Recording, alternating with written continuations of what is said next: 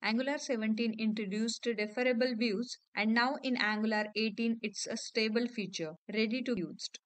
Hello everyone, welcome to my channel. In this video, let's understand the concept of deferrable views. Deferrable views also known as at the rate defer blocks and this is a powerful tool that can be used to reduce the initial bundle size of an Angular application. We can use deferrable view concept if we want to load any content or a block of the component on specific condition or event. So let's jump into Visual Studio Code to understand defer block concept with an example. So here I'll write deferrable views. So one more important thing about defer block is we cannot defer all the components. We can defer only standalone components. So to understand the deferrable view concept, I have created a student component that contains a basic table. Let's consider this component to be heavy. Okay, so you can see this is a standalone component.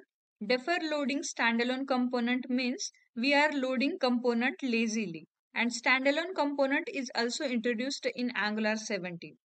So if we want to use defer loading, then first we have to migrate our application to 17 or the current version of Angular that is 18 because as I said, we can defer only standalone component. So we will see the different types of blocks available in deferrable view and after that we will see the different types of triggers. So first I'll list down the blocks. There are four types of blocks. Like first is defer block. Second is placeholder. Third is loading. And the fourth is error okay? So there are four types of blocks available in deferrable views. And all the blocks are available for the template file. No imports are required. So we will see each block with an example. So first we will see defer. So this defer block wrap the component inside at the rate defer block to load it as a separate piece and by default a defer block is triggered when the browser state becomes idle. We will write this defer block like this and inside that we need to add the selector of defer blocks.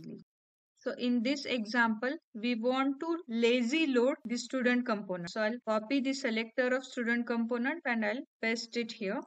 And in order to use the component, first we need to import that component inside the imports array import the student component inside ts file. And here we are using this. So save the changes and go to the browser. You can see the deferrable views is our heading. And after that the student information table is coming. That is available inside student component.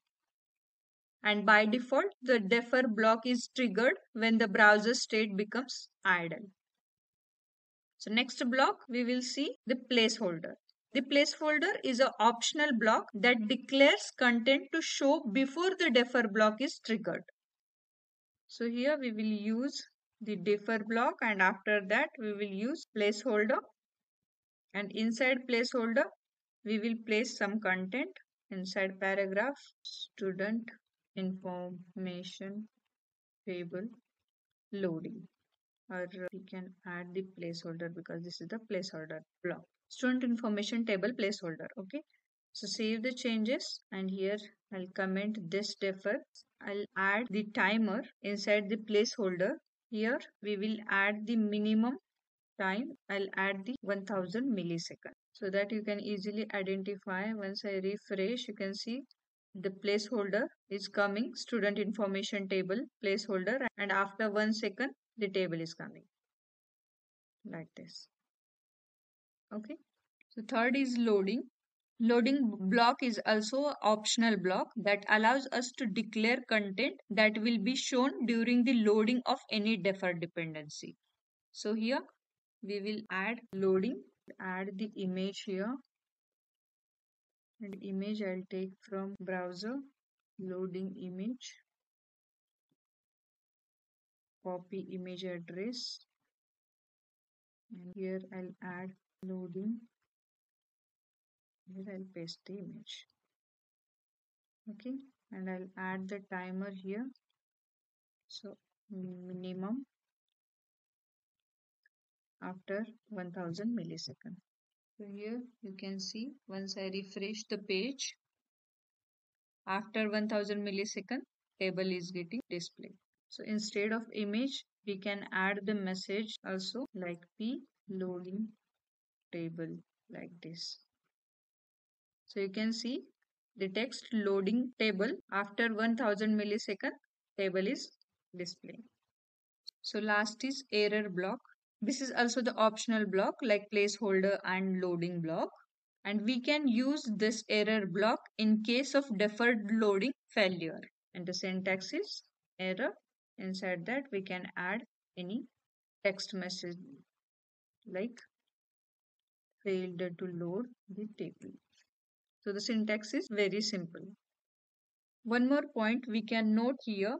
The dependencies that are used inside placeholder and loading block they get eagerly loaded. So don't select heavy content inside placeholder as well as loading block. So this is all about the blocks of deferrable view. And now we will see when we can trigger this. So there are two types of trigger that we have one is when attribute and the other is on attribute so first I'll go with when attribute. When is a custom condition and can be defined as a boolean expression. So for that I'll create one variable with type boolean is loading boolean false. Here we will write the syntax at the rate defer inside the bracket we will add trigger. So I'll add when trigger with condition is loading.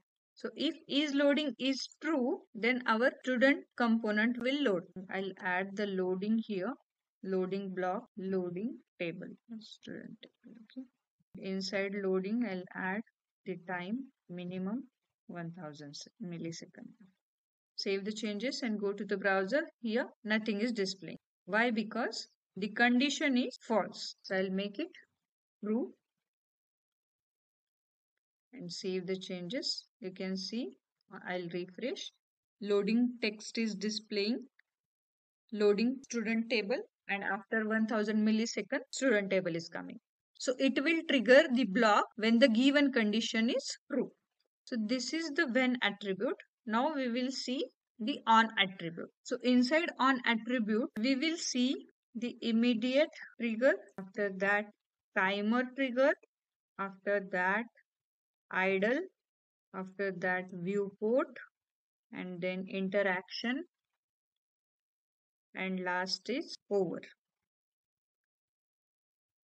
So here you can see there are six types of triggers comes under on attribute. We will see one by one when immediate trigger will get triggered so this immediate triggers the deferred block immediately as soon as angular has finished rendering so it means it will render once our Angular application render onto the browser like defer and we can add the on trigger like on immediate and after that we can add the student component inside defer.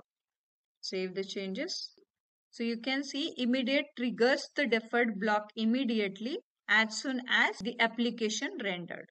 So next we will see the timer. The syntax for timer is like same Instead of immediate, we will add timer and inside timer, we can specify the time.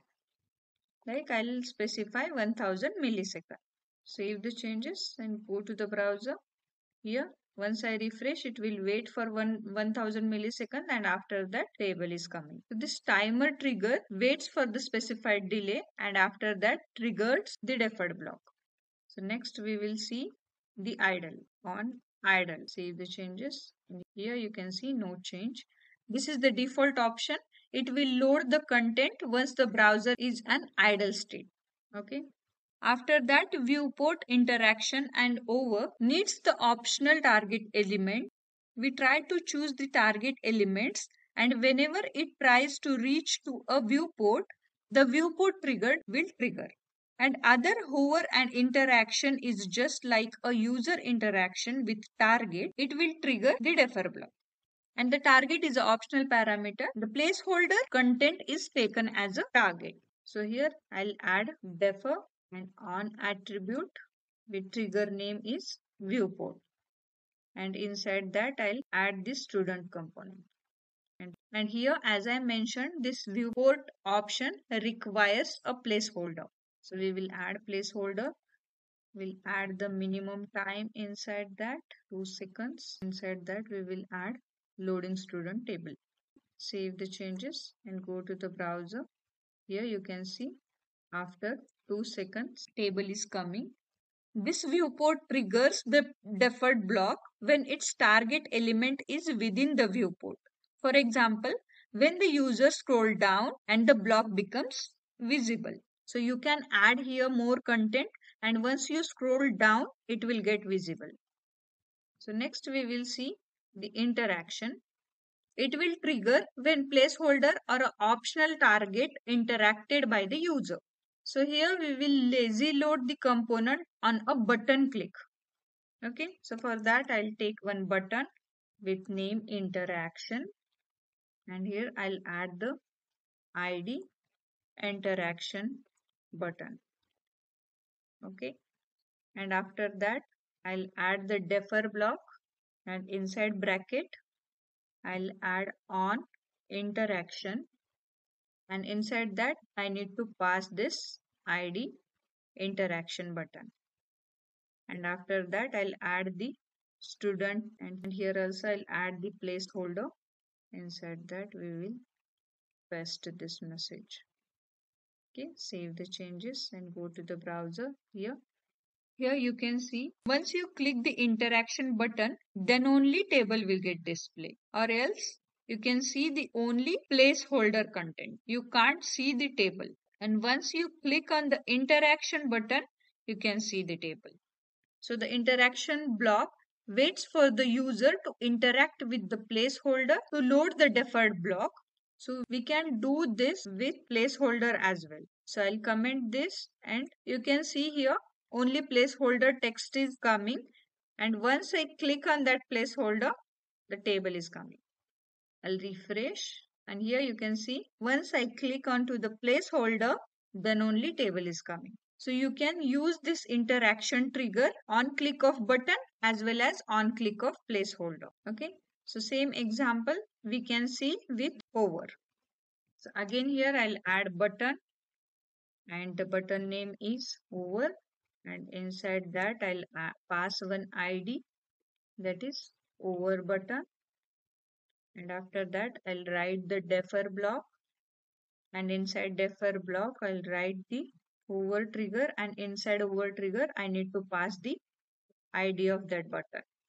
After that we can add the app student component and then I'll add the placeholder and inside placeholder I'll paste the same message. Save the changes and go to the browser here you can see the placeholder text is coming and one button with name over. So once I over over this button, you can see the table is coming. So it will trigger when placeholder or optional target are overed. So here we can lazy load the student component on a over of this button. And again we can implement this with placeholder only so I'll remove the button. So you can see here once I over onto this placeholder, the table will come. You can see. Okay. So we can use this trigger on over of button as well as on over of placeholder. And one more point to note here, we can have a multiple triggers separated by semicolon. And whichever first triggers, it will trigger the defer block. So they are created always as a OR condition. So for example, here I'll take the timer trigger and inside that we will add the 3 seconds.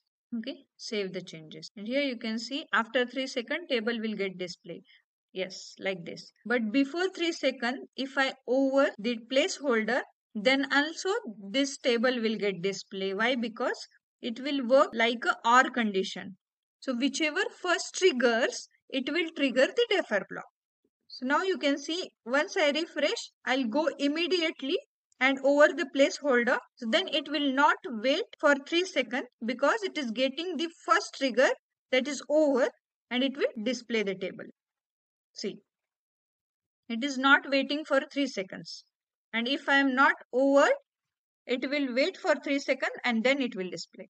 So this is how we can use the multiple triggers separated by semicolon. So this is all about the triggers as well as blocks of deferrable views. So what is the advantage of defer block? First, at the rate defer block is to enhance the initial load time of complex web application. And the second advantage is using defer block, Angular application load faster. And if it's a fast moving app, then it will give a better user experience. So we can say the component lazy loading is not a new feature, but this is made easier to implement with deferrable views. Also, we can say deferred views is not a new feature, rather it's upgraded the lazy loading concept. Okay, so that's it for this video. If you find any useful information from my channel, then please do like, share and don't forget to subscribe. Thank you. Bye-bye.